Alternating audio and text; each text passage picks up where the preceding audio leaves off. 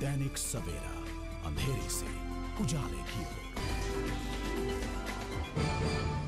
प्रधानमंत्री नरेंद्र मोदी की कार्यशील और भाजपा की नीतियों से प्रभावित होकर तरन में कई राजनीतिक परिवार बीजेपी में शामिल हुए पार्टी में शामिल हुए सभी सदस्यों का बीजेपी जिला प्रधान रवनीत सिंह लवली द्वारा स्वागत किया गया वहीं दूसरी ओर हरिओम को बीजेपी का शहरी प्रधान नियुक्त किया गया इस मौके पर अन्य बीजेपी कार्यकर्ता भी मौजूद थे ਅੱਜ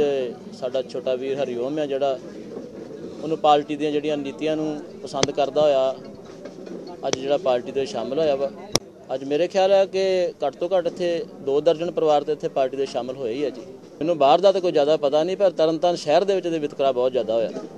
ਤਰਨਤਾਰਨ ਸ਼ਹਿਰ ਦੇ ਵਿੱਚ ਬਹੁਤ ਜ਼ਿਆਦਾ ਕਾਣੀ ਵੰਡ ਕੀਤੀ ਗਈ ਜਿਹੜੀ ਪਿਛਲੇ ਸਮੇਂ ਦੀ ਜਿਹੜੀ ਇੱਥੇ ਤਰਨਤਾਰਨ ਨਗਰ ਕੌਂਸਲ ਚੱਲੀ ਹੈ ਜਿਹੜੀ ਇੱਥੋਂ ਦੀ ਜਿਹੜੀ ਜਿਹੜੀ ਬਾਡੀ ਸੀਗੀ, ਜਿਹੜੇ ਇੱਥੋਂ ਦੇ ਜਿਨ੍ਹਾਂ ਨੇ ਨਗਰ ਕੌਂਸਲ ਨੂੰ ਚਲਾਇਆ ਵਾ।